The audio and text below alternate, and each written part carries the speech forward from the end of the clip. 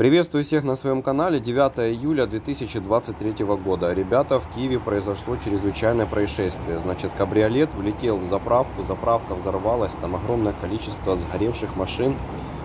Э, Значит, на видео, я вам при- прилагаю его к своему видео, видно, как машина, кабриолет, влетела в резервуар с топливом и взорвалась. В результате полностью уничтожено здание и наземное оборудование э, заправки, а также 8 легковых автомобилей. Трое пострадавших с ожогами разной степени госпитализированы медики. Такая информация, прям такие люди снимают с квартир, с домов, такие клубища дыма валят в небо. Ну, представьте себе, горит заправка. Э, Не знаю, как- в каком был состоянии человек, управлявший кабриолетом.